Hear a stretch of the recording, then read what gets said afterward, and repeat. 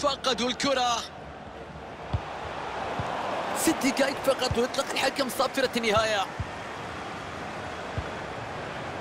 تمريرات متتالية بشكل جميل.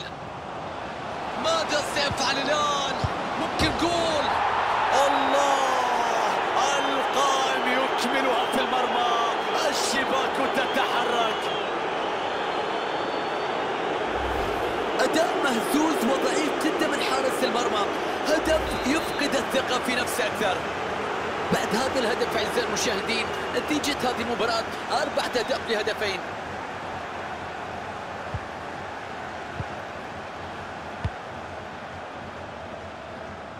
مساحة كبيرة الآن فاضية على طرف الملعب.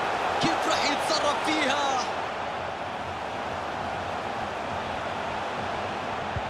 تدخل ممتاز هنا.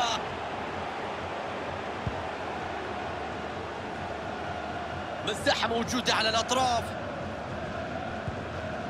الله على التدخل مثالي شوف كيف خلص الكرة. دقيقتين يحتسبهم حكم المباراة كوقت مضاف. عرضية طويلة. عرضية ممتازة في الجناح. لا تصل إلى المكان السليم.